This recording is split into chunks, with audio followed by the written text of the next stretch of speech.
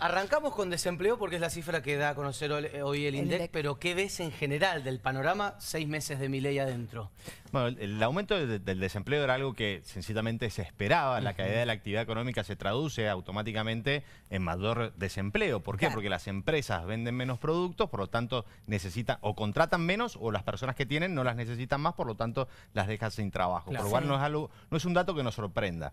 Eh, el, el aumento del desempleo a niveles de 7.7 es alto, pero en términos históricos todavía, digamos, no estamos tan mal como, como hemos estado en otros momentos de la historia. Incluso hace poco tiempo. Exactamente. hace, no mucho tiempo teníamos más de 8, más de 9. ¿Sabes qué es lo que me preocupa a mí, Juli? Los niveles de salarios. Porque nosotros estamos en la primera vez en la historia, sí que tenemos un desempleo relativamente bajo, de vuelta comparado en términos históricos, pero donde la gente que labura no llega a fin de mes. Bueno, justamente uno de los datos importantes era que aquellas personas de trabajo completo, formal, están solicitando al menos otro empleo más porque no llegan.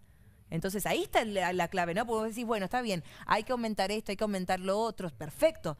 Pero el salario no acompaña también a eso. Entonces, ¿cómo haces? No te alcanza. Bueno, este va a ser el tema central de los próximos meses del gobierno de Milei. Una vez que ya controlada la inflación y el dólar, que eran los dos temas que nos aquejaban a todos los argentinos, ahora vamos a empezar a hablar de poder adquisitivo. Poder adquisitivo de salarios. Es qué trabajo existe y qué calidad de ese trabajo. Y ese es el problema que nosotros vamos a ver de acá en adelante. Cuando nosotros analizamos la economía, podríamos decirnos que es un auto donde el motor es la producción y las cuatro ruedas tienen que acompañar. Hoy la producción está muy mal. Claro. Bueno, tenemos una de las ruedas, que es la que viene bien, que es el sector exportador. Toda la parte del agro, la minería, el petróleo. Eso es lo que hoy está sosteniendo un poco la economía o hasta haciendo que, no caiga tanto. Por el otro lado tenemos el gasto público, que todos sabemos que están haciendo un ajuste fiscal muy grande. Por lo tanto, esta rueda la tenemos media ahí torcida. Por otro lado tenemos la parte del consumo, que como estamos viendo con el aumento de desempleo, significa que hay menos gente consumiendo en la calle, y encima los salarios atrasadísimos también viene muy mal. Y por el lado de las inversiones, ¿quién, ¿quién va a venir a invertir en Argentina en una economía que no está creciendo. Si vos querés emprender un negocio, querés como mínimo cada gente en la calle gastando plata. gastándolo, que, que, que, vaya la rueda de actividad eh, Claro, entonces nosotros estamos en un autito que va un poquito hacia adelante o retrocediendo. Quedémonos un segundo en lo, último que decías. Eh, ¿Quién va a venir a invertir en esta Argentina como está hoy? Que tiene algunos eh, indicadores más o menos bien y otros mal. Entonces en todo el año no se va a ver ningún tipo de atisbo de inversión. Recién en 2025 podríamos llegar a ver eso, porque la expectativa es que ahí sí haya crecimiento económico. Depende de qué sectores de la economía estamos hablando. Hoy está dividida como en dos grandes equipos. Por un lado tenemos la construcción, la industria, el comercio, que eso es lo que peor ha andado desde el, desde el último trimestre del 2023 a hoy. Pero por otro lado tenemos todo lo que es el agro, el petróleo, la economía del conocimiento, el turismo receptivo, También. que viene empujando la economía. Todo eso está entre 10 y 20% arriba, mientras que los que dije recién están entre 20 y 30% abajo. Yo creo que lo que tiene que hacer el gobierno de acá en adelante, lo que seguramente veamos, es a partir de cómo salga el paquete ahora fiscal y la ley bases, es seguramente un relajamiento en este ajuste fiscal en el que, en mi opinión, se les ha ido un poco la mano. Porque vos, demasiado. para salir con la economía hacia adelante, vos lo que tenés que hacer es reactivar un poquito el consumo, porque si no hay consumo, no hay inversión. Tal cual. Entonces, seguramente lo que vamos ahora es un, digamos, soltar un poquito el tema, abrir un poquito más la canilla del gasto para ver si bueno, hay un poquito más de plata en la calle. Claro, con la obra pública, exacto. Y otro de los temas, los viajes del presidente Milei. ¿No? A los distintos destinos. La pregunta la otra vez decíamos, o, por ahí lo, lo, charlas con las personas y te dicen, eh, a ver, ¿qué es? ¿Búsqueda de inversores?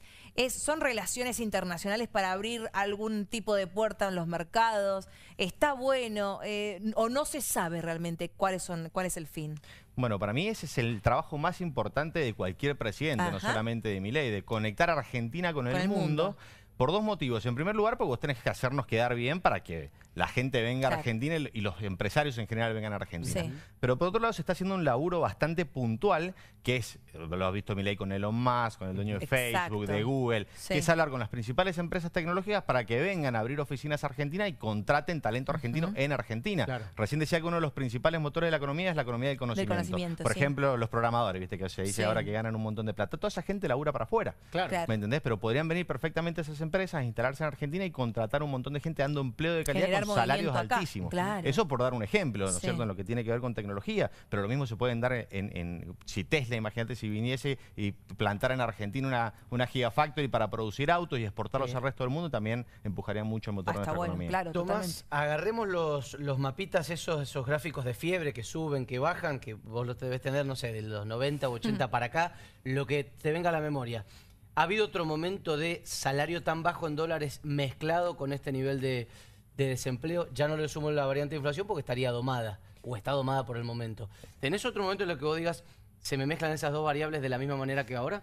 Eh, hay, pero tenemos que irnos muy atrás. Lo más cercano que tenemos ahora para comparar es el 2001, donde tenías salarios en estos niveles, inclusive un poquito más abajo, pero con desempleo por encima del 20%.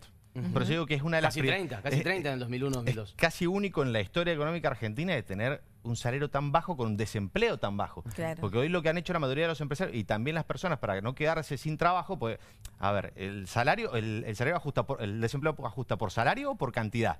No puede estar el salario alto y, desempleo bajo al mismo tiempo en una economía en recesión. Entonces vos decís, o echo gente o le bajo los salarios, o lo que es lo mismo, no les aumento con la inflación. Bueno, ahora la gente está dispuesta, porque no le queda otra, a trabajar por menos plata. en vez de quedarse sin trabajo. ¿Y el tema del dólar? Que nunca deja de ser un tema. Hoy 30 pesos más caro. ¿Cómo, ¿Cuál es la situación también eso que genera? ¿Se viene a complicar un poco más? ¿Cómo, cómo es el...? O, estamos más o menos todavía en, un precio o en un valor? No me preocupa el precio del dólar. De hecho, si vos te pones a pensar en octubre valía 1.300, hoy vale 1.300, 7, 8 meses más tarde, por lo cual no es algo que hoy no, esté en, el ojo de los economistas como algo preocupante. Sí, obviamente el tema del cepo es algo que nos aqueja a todos y es un torniquete que tiene la economía que tienen que sacar cuanto antes. Y te digo que es un problema que ni el gobierno todavía sabe exactamente cómo, va a solucionar, porque eso tiene un problema muy grande. El, el gobierno anterior para financiar el déficit fiscal emitió un montón de deuda en pesos. Sí. Y hoy esa deuda va venciendo todos los meses, vencen entre 5 mil y 7 mil millones de dólares por mes en pesos. Entonces, ¿qué pasa? Si vos sacás el cepo, todas esas personas que hoy están obligadas a, financiarte a vos, a comprar esos bonos en pesos, pueden decir libremente, ¿sabes qué? No, te financio más y voy y compro dólares, que es lo que dice Caputo, Milei, la rotación de portfolio. Es esta gente que tiene bonos en pesos, que, no los renueve más y se va a dar el dólar haciendo que la divisa se dispare abruptamente. Eso sí te puede generar desestabilización en la economía. Que el dólar fluctúe en 1, 2, 3, 4, 5%, con los niveles de inflación que hay, no es algo alarmante por ahora. ley habló de inflación cero en junio. Es muy... Eh, por el camino en el que vamos, la inflación va a tender a desaparecer. Pero en junio. No, en junio no. Ahora estamos en junio. Habló de que fue la primera, la primera semana sin inflación en alimentos en 30 años. Que es verdad. Eh, que es verdad. 0% de inflación en alimentos en junio. Exactamente. En la última semana, perdón. Es un dato súper alentador. Eh, yo creo que para fin de año, si la cuestión sigue en el camino en el que vamos, siempre en Argentina todo puede cambiar de un día para el otro, pero en el camino en el que vamos, para fin de año deberíamos ver una inflación entre el 1, 2, 3% mensual. Yo me animo a decir que podemos llegar a estar en el 2. Si las cosas salen bien y como venimos. pero bueno, también empezando a tener en cuenta cuenta lo otro que vos marcabas, esto lo del poder adquisitivo. 100%, o sea, los salarios tienen que empezar a recomponerse. Es que si no, no, se va a poder pagar ningún servicio, no se va a poder pagar, o sea, no, va a alcanzar. Aquellas personas que, por ejemplo, alquilan, ¿cómo hacen?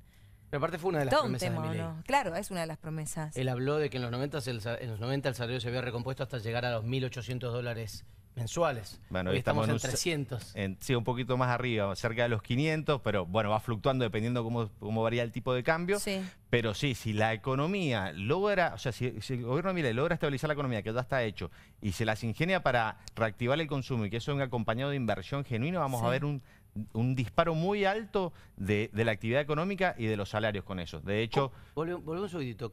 ¿Qué hay que hacer para ver ese disparo de, la Lo primero es estabilización económica. Vos suponete que vos sos un emprendedor, ni siquiera te digo gran empresario, quieres poner un negocio. Vos necesitas poder proyectar a 3, 6, 12 meses. Por lo pronto. Para, ver, para ver tu flujo de fondos, para ver si podés contratar un empleado. Si vos no sabes cuánto te van a salir la mercadería que después tenés que vender, es imposible que vos armes un negocio. Por lo tanto, no puedes contratar gente, no vas a ganar plata. Entonces, lo primero que tiene que darte el gobierno es estabilidad económica. Básicamente, dejar a la gente laburar tranquila. Una vez que se genera eso, que da lo están haciendo y podríamos decir que es una misión relativamente cumplida, tenés que empezar a recuperar la actividad.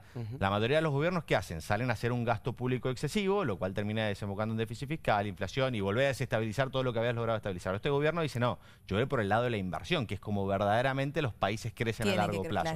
Pero sin, la sin el consumo, la inversión no va a existir. Entonces tenés que hacer de medio de cirujano ahí de abrir un poquito la caneta del gasto público para que la actividad empiece a recuperar y la inversión venga atrás y, y aliente todo ¿Y el ves ese panorama que va hacia ese lugar? Yo sí lo veo. Soy bastante optimista en eso, pero bueno, depende un poco de la mano quirúrgica del gobierno. Bueno, Dios quiera, eh, por el bien de todos los argentinos. Si agarramos una nota que hicimos con Tomás en enero, él hablaba casi de este escenario en inflación. Sí. Y yo le decía, creo que no te aposté un asado, por suerte. Si no apostamos un asado. apostamos, un ¿Apostamos un asado? Dice que apostaste un asado. Hay que buscarlo, hay que buscarlo. Eso fue Para todo el equipo. asumía mi ley. Vino Tomás acá y dije, nada, Julio no va a ser de, que sabes, sabes que lo que tiene mi ley que lo que dice lo hacen.